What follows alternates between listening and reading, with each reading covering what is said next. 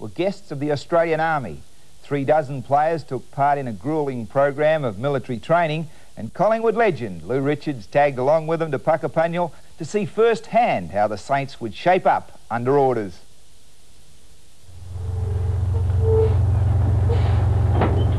Puckapunyal Army Training Centre, 100 kilometres north of Melbourne and the base of the 1st Armoured Regiment. For two long, tough days, this would be home for 36 apprehensive young St Kilda footballers. And once they went through that gate, the Saints were in the Army. And boy, didn't they know it. Firstly, I'd like to welcome you to the 1st Armoured Regiment for the weekend's activities. My name is... Now, I've met some pretty mean coaches in my time, but this bloke would have had them for breakfast, lunch and dinner. And just in case any of the players had plans to step out of line, the regulars kindly put on an impromptu display of what was in store for them. Welcome to the Army, fellas. The players were divided into groups of six, and each appointed a leader to keep them in step for the weekend. Left, right, left, right, left, right, left. Pick up the step. Left, left, left, right, left. Now, I know Army food is always the butt of jokes, but take it from me, there was nothing wrong with this spread. How's the food, Dan? yeah, it's not too bad, Lee. the private's mess would become an oasis for the St Kilda players. It was one of the few places on the base where they could sit and relax. Not for long, though.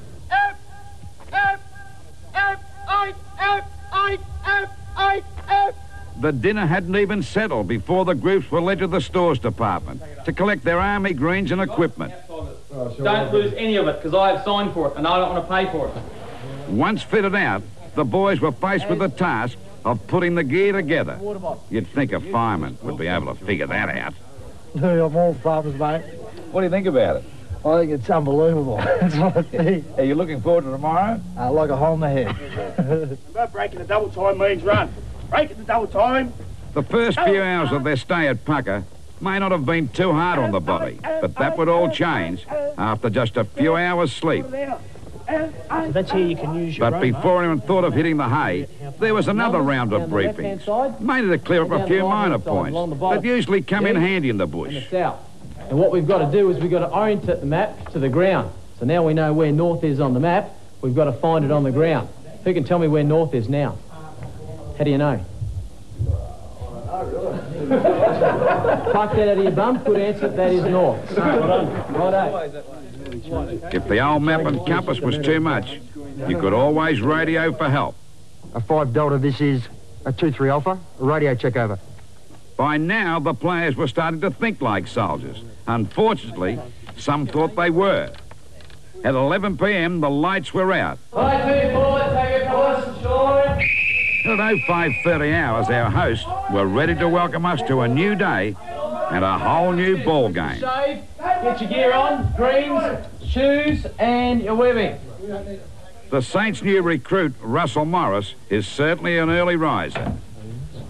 I'll get a job at the Hyatt. Once on the parade ground, champion full forward Tony Lockett joined the ranks, looking as slim as we've ever seen him. But despite Lockett's star status, there was no sign of the red carpet being rolled out. A missing water bottle was now the topic of conversation. If I find it, I'll throw you in the cells. You steal from a teammate, you, you laughing, are you, pal? You want to go up there now? No, mate. Don't make me. And steady, on the ground, 20 push-ups. Let's go on the knuckle. And then nice and close. Pick it up, come on. There was nothing tranquil about this place. The players were here to work, and boy, did they work.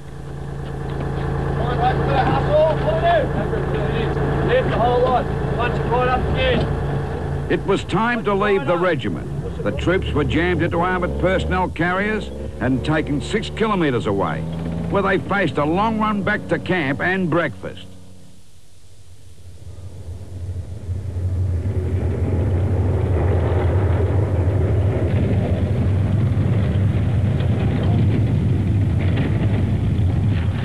By 8 o'clock, they were on the move again, this time to the Pucka Scramble, a climb to the top of Mount Puckapunyal and a run along the rough ridge.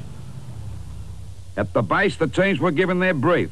And to add to the exercise, they loaded each team of six with food rations, two jerry cans full of water, and three eggs. Points would be lost if the eggs returned broken. So off they set on their mission.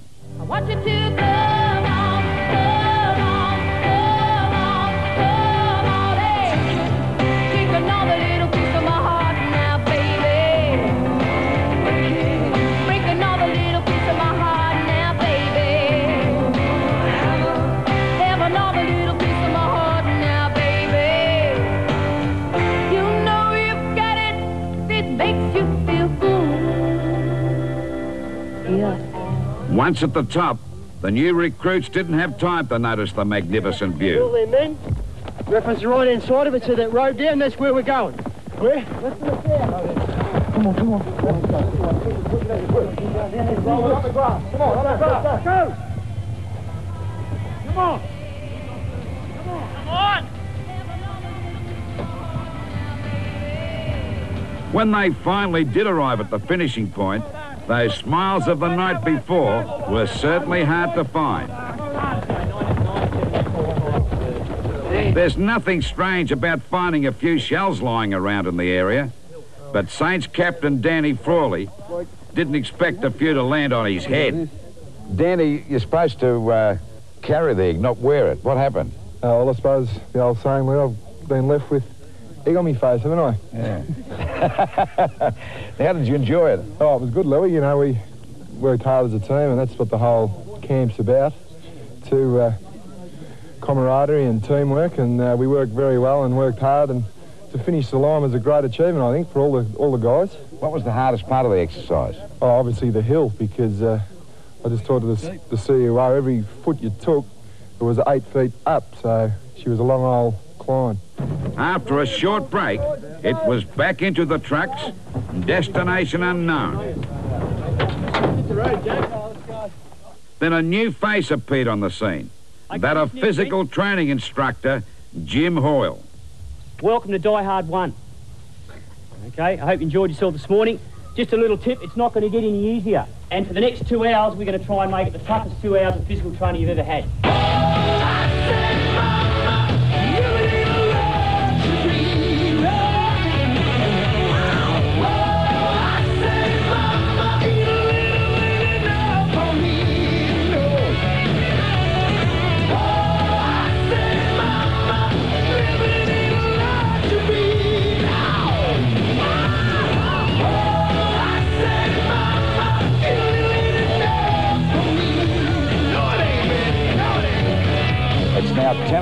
The Saints have been going for five hours. They've got a mountain behind them. They're doing exercise die hard one at the moment. And of course, they're standing up to it pretty well.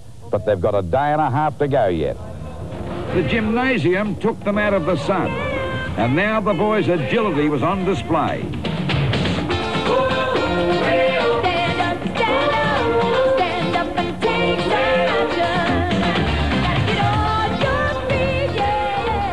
By one o'clock, the tired old bodies were given a rest for a few hours, and it was time for the mind games. Special guest was Carlton great Bruce Doull, who explained the finer points of AFL football to the eager students.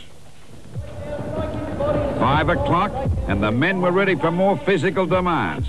By now, I was feeling sorry for the opposition sides when the Saints take to the field, knowing those little tricks.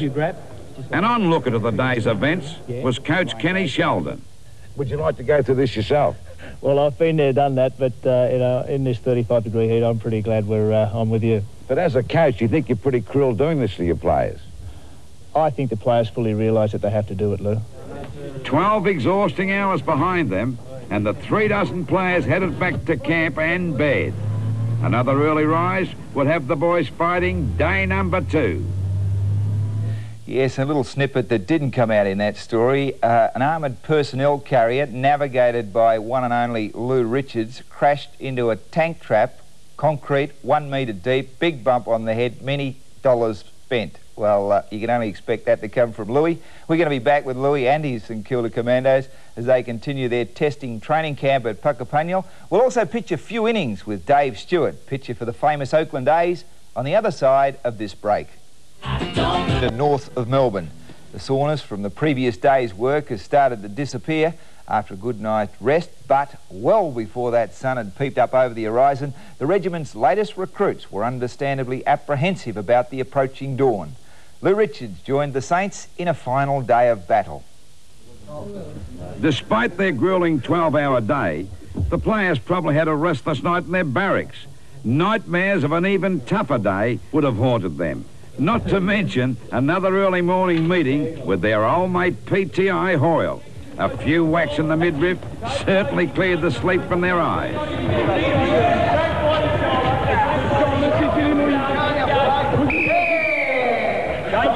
With the gloves off, it was back to the great outdoors for Die Hard number two. An exercise that had them climbing ropes, jumping fences, and tackling an obstacle course. When the boys had that sorted out, a new element came into play. The only stipulation is they must go over each obstacle if they don't get disqualified, or we'll send them back depending on how far they've got. And the log can't get wet in the pool.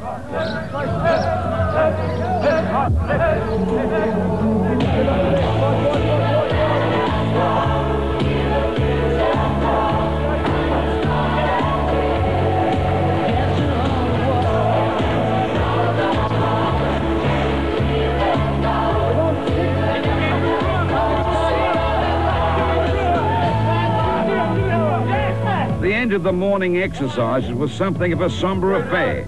In a unique display of generosity, the players gave the PTIs, including Hoyle, a parting gift, albeit a wet one. I just got one thing to say before we go. Get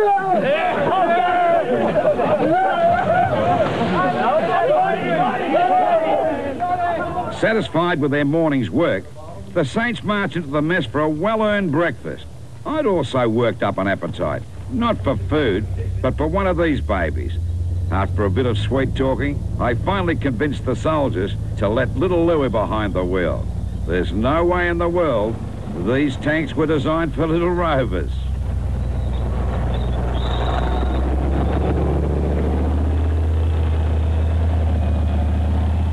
In all the excitement, I almost forgot why I was up here in the first place.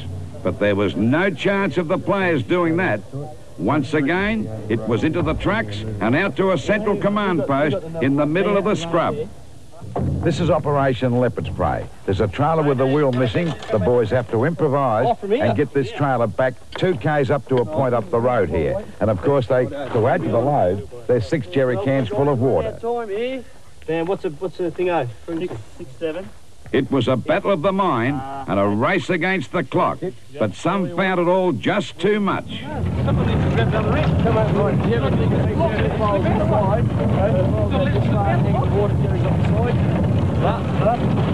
what the race is for. Falls right out. Then there was Tony Lockett's team. And these blokes had it down pat. That's awake, yes. Saddlebags, good move. How many water bottles have we got? You got that on? Six, six, three, I need you down there. Three, come on, get him on. Come on, come on, come on, come on, hustle. Give us that rope, Jimmy. There was no greater example of team effort.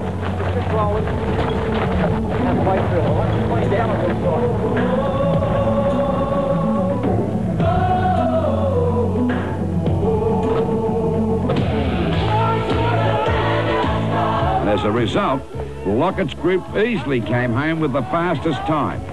But more rewarding from the club's point of view is the vast improvement in Plugger's fitness. Well done. Mate. Last bad. Well done, Pete. Fastest time for that one. Well done, Timmy. Well done. Good job. Berkey. Well done, mate.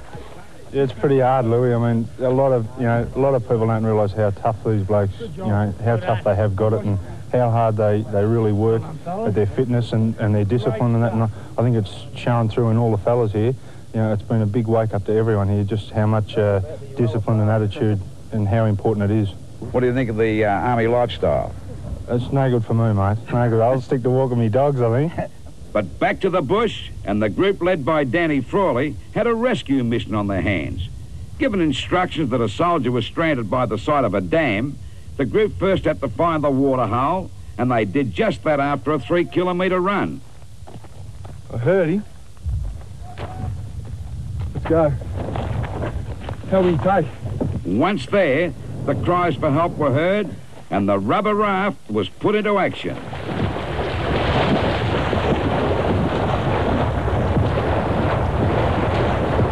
The injured soldier had to be returned back to the base. Under the rules, however, the players could use anything found in the area. And surprise, surprise, a jeep just happened to be sitting under a tree.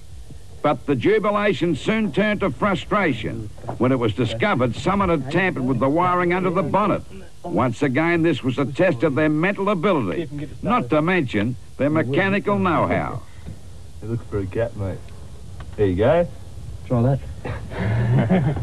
Mustn't be wrong. Range control won't be happy if we go up the Land Rover.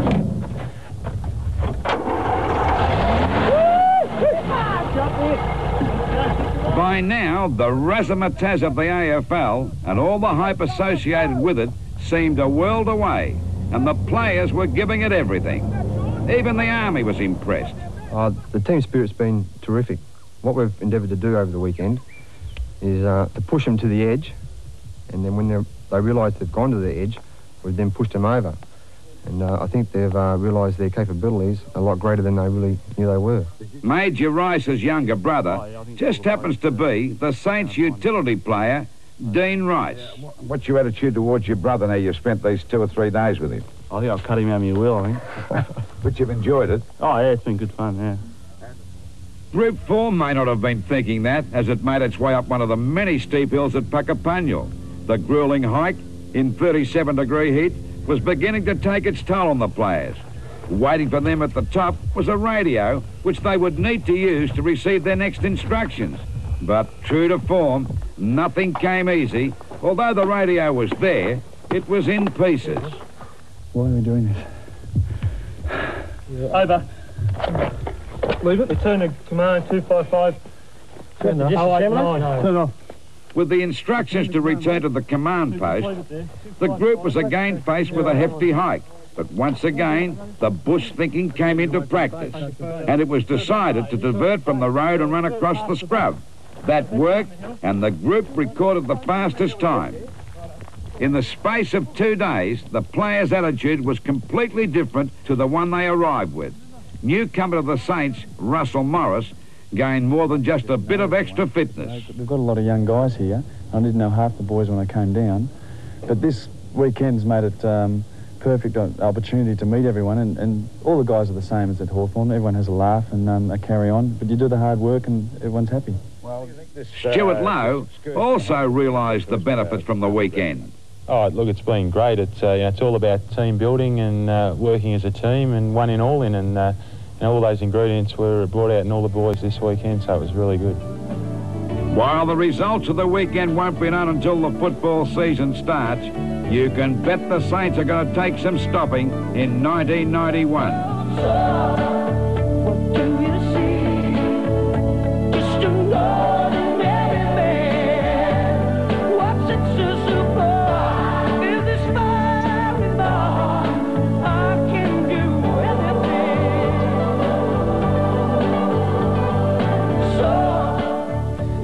Good attitudes there, the ability to enjoy pain, or endure pain, should I say, and, and hardship really is the basis for any good team.